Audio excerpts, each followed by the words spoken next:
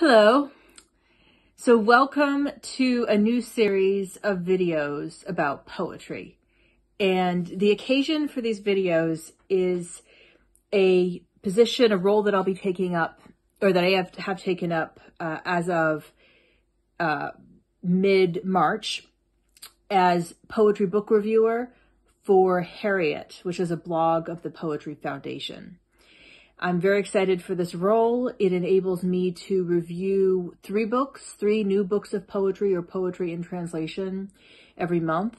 And I'm joined by uh, three, two other, three other colleagues. Uh, so we're all going to be reviewing books and hopefully giving new visibility to unheard voices and uh, marginalized traditions uh, on the in the American and Anglophone poetry world. And one interesting feature of these book reviews that we'll be writing is that they are limited to 300 words. So that's quite a short review, quite a short space that we have to express our enthusiasm for the text that we will have selected for review. And I've been finding, I've written a few of these reviews already. I find them very challenging and very interesting as a form, the, the short book review form. It almost reminds me of writing a poem because in a poem, you know, every single word counts. There can't be anything extra. Everything has to justify its place. And so too with these book reviews, every sentence, every observation has to have a point, has to somehow do help the reader to see something about this text that hasn't been appreciated or that might not otherwise be seen. So I'm just, I've just, as I said, this is my third, I've written three reviews so far and they'll be released in April. So in just a few weeks. Um, and I wanted to take this occasion of recording the first video about these reviews to introduce a review that I've written, uh, about the a new poetry book called The Wild Fox of Yemen by the Yemeni American poet Threa Almontaser. And I'm very excited about this book. It was awarded the Walt Whitman Award from the American Academy of Poets and is going to be published by Graywolf Press.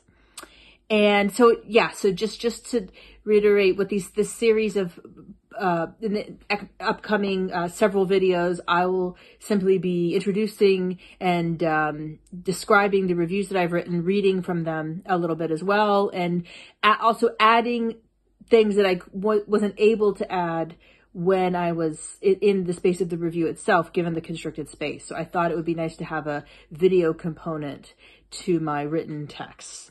So here's a draft of the review that will be published in a few weeks on the poetry by the Poetry Foundation. And I don't have actually a, a, physical copy of this book. It's it's on its way to me, so I've just read an e-version.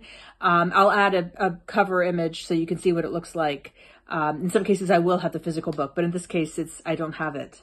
Um, so, so the publication of this landmark volume, which won the Walt Whitman Award from the American Academy of Poets, marks a new way of writing poetry in English. Other poets such as Solmaz Sharif and Aria Aber have experimented with incorporating their native languages into their English poems. Almontaser takes this practice to a new level by incorporating the Arabic script into her poems and leaving her Arabic collocations untranslated. So I did think that was one of the most innovative aspects of this book was the the actual language that the poet creates in English, but really on unapologetically using Arabic and often not translating the Arabic terms. Um, and in many cases, I was able to, I knew, I know enough Arabic to, to follow the meaning, but it was really interesting for me to think about what this type, what this language would look like to someone who wasn't familiar with Arabic. And the fact that it, it is, is was successful, that, that she is able successfully to use non-English terms in American English poetry and and have an impact, you know, without translating the terms. I think that says says some, it's a it, it's a it can be a lesson to those of us who want to engage more with non-English languages in our poetry. Uh, and she also does the same with script, as I'll mention in more detail in a second. Um, and so also another thing worth noting is that some of the poems are straight translations from the Yemeni poet Abdullah al-Baradouni, who died in 1999. That is perhaps the most famous national poet of Yemen. Um, and so in th- those cases where she includes the translation, she also includes the Arabic um, alternating after each verse. And she also um, has poems which she herself says are styled after uh, poets such as Natalie Diaz, Danez Smith, and Marwa Helal. Almontaser's poetic celebrates her foreign roots. Her commentary on Hayat, um, which means life, and, and it's rendered in the Arabic script. That's that's worth noting that the, the word itself occurs in the Arabic script, um, is central to this aesthetic. And as she says in one of her poems, Hayat in Arabic is to respect the self. This is from the guide to gardening your roots. And then to continue that, that quote, which is to respect my forest, my mountain, my wells. Although Almontaser's poems are suffused by Arabic and Yemeni cultural references, their idiom is unmistakably American. So many of them are set in Yonkers. They include lyrics from hip hop bands like the Fugees. Um, and yet they are also very much at home in Yemen at the same time. One of the poems that I liked the most was called Muslim, is called Muslim with Dog. So what's so interesting to me about this poem is that there is a strong tradition within the Islamic world of considering dogs to be polluted. So typically you wouldn't, a Muslim would not have a dog as a pet in uh, at least traditional Muslim societies because their, their polluted cats are much more popular. Um, and yet this poem is all about the poet's affection for dogs. Um, and so there's one line from the poem that reads, There is another morta by the fireplace, head on someone's knee as they're stroked. So morta, of course, means um, mortad. Uh, it's a term for apostate. So she's calling the dog apostate. And it's very cute because, of course, it's a little bit absurd to, to invoke this, this theological um, context for talking about an animal. Um, and it's really about the, the, the, the sweetness, the, the, the intimacy with, with animals. And yet the, the, there's a kind of ironization of the Islamic theological tradition going on at the same time.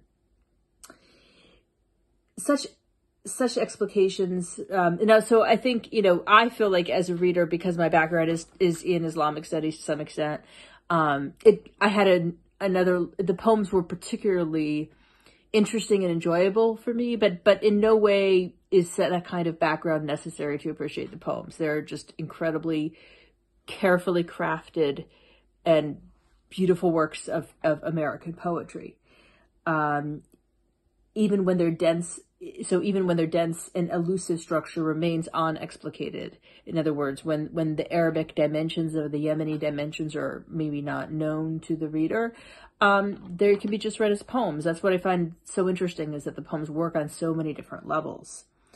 And to quote from the the award that this book received by the poet uh, in the the citation of the um, judge, the uh, who's also a poet, uh, Harryette Mullen. These poems, Almontaser's poems, ask how to belong to others without losing oneself, how to be faithful to oneself without forsaking others. So I'll end there, and I hope this this series of video book reviews is uh, opens your eyes in the weeks and months to come to new titles and of poetry and poetry and translation that you might not have known about.